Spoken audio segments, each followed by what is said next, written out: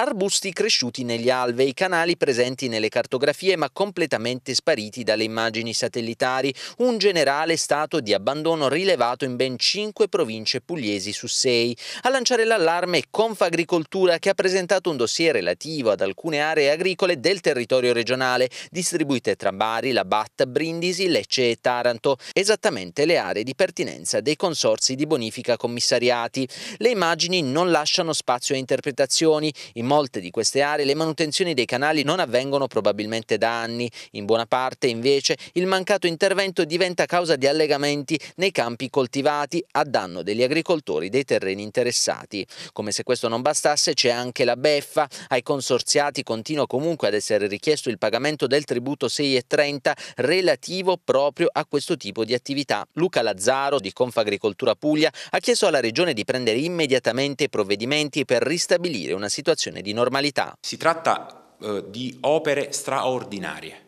Il proprietario di questi canali è la Regione Puglia e la Regione Puglia deve intervenire su questi canali non può farlo il consorzio di bonifica a carico solo e esclusivamente dei consorziati, che purtroppo oggi sono solo gli agricoltori, perché il piano di classifica è stato fatto all'epoca molto molto male. E, ehm, per questa ragione oggi la Regione Puglia deve intervenire in maniera importante su tutta questa partita, lo deve fare urgentemente.